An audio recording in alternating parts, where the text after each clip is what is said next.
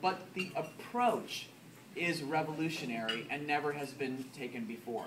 And stem cell biology is allowing this to, to go forward, and collaborative research is what really was the, the kismet in this case, getting this to um, really result in a phenomenal um, result in this mouse model. So that's one uh, set of experiments that came out this year.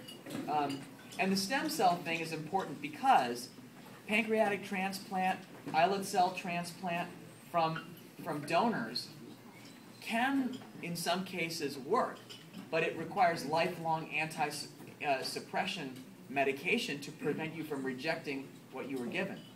If you can take someone's own cells, coax them to become stem cells, and then teach those stem cells to become thymic cells and or beta cells, and give them back to that same person, you don't need any medicine to uh, to uh, uh, you know uh, get over suppression because you'd never need it because you wouldn't attack them because they're from you, they're not from a donor.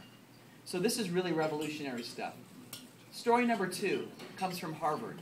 Uh, Doug Melton's group at Harvard, which is also very interested in type 1 diabetes, did a study where they, um, they induced um, pancreas to uh, proliferate. Okay, so in type 2 diabetes, as you proceed towards frank diabetes, before the pancreas poops out and stops making insulin, it proliferates and actually gets bigger, and you make more insulin to, um, to meet the needs of the body until such a time that you can't do it anymore. And that's when the type 2 diabetic patient becomes frankly diabetic. Okay? And what they did was they used another key point I want to bring up, which is the power of the human genome. You'll see over the next five years that all kinds of studies that are going to be done are going to be using the immense power of the fact that we know all the genes now in the human genome, and we're not just guessing at candidate genes. We know every gene. And they used the power of the human genome to ask, what are all the genes that are turned on in this mouse when it's fed a high-fat diet and is on its way to becoming diabetic? And they asked, are there any genes that are upregulated in both the fat and the liver? And they found that there is exactly one gene out of all the 22 to 25,000 that we have in our body that's upregulated in this condition in mouse in only these two organs. Okay? And what they did was they found out what that codes for. It's um, a protein that's secreted by both liver and fat. They purified that protein, and to make a long story short, they gave that protein to mice. And on its own, it would make the pancreas proliferate. Just like the model of high-fat diet would on it was doing. But now the mouse didn't have to be fed a high-fat diet. It just got this purified protein, and lo and behold, pancreas cells start dividing and growing. Okay? They then gave this protein, which they have named beta-trophin, in honor of the beta cell, to mice that were um, uh, induced to have type 1 diabetes. And they grew pancreas back in those mice that had type 1 diabetes. So this is really taking the world by storm now. And uh, you can even buy purified beta-trophin just online um, if you're a researcher, okay, to give to your own mice and come up with your own experiments and see if you can build on their findings. And the fact that we can do these things so rapidly now gives all the researchers worldwide immediate access to what this one group at Harvard figured out just two or three months ago. It wasn't that long ago. Um, so now story number three uh, comes in the arena of type 2 diabetes, but also affects type 1. A group um, in Spain showed that the so-called Mediterranean diet, which uh, many of you have heard of, which is replete in monounsaturated fats, actually can prevent type 2 diabetes and prevent the risk of heart attack. And they did it in, in thousands of patients in Spain getting the diet A versus diet A plus olive oil or diet A plus nuts that contain monounsaturated fats.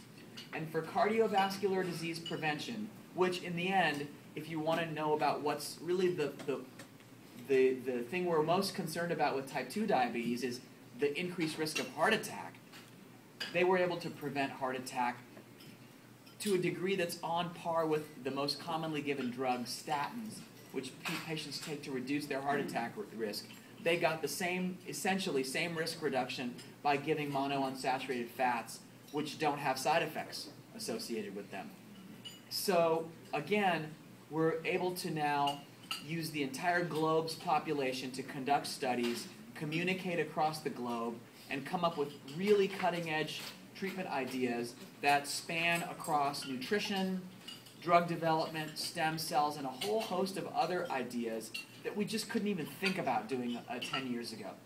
And so when I talk up to patients about cures for type 2 diabetes, cures for type 1 diabetes, there's no way any researcher can tell you when that's coming. But the rate of progress and the kind of leaps that we're having in the last two or three years make what happened in the last 20 years that preceded that look like nothing. It's just so fast now, and the ability to get the information out to researchers worldwide is putting tools in the hands of people who don't even describe themselves as diabetes researchers.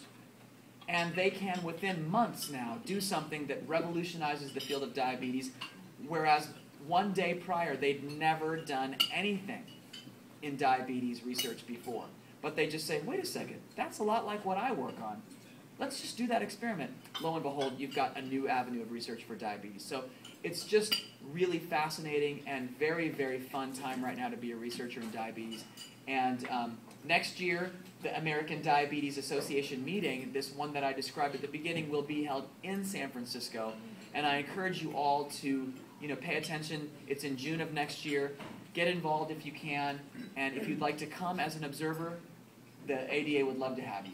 So um, with that, I'll stop. If there's any uh, questions, I'm happy to take them, or I'll allow Michael and Tom to decide when a, an appropriate question answer period should be. Thank you.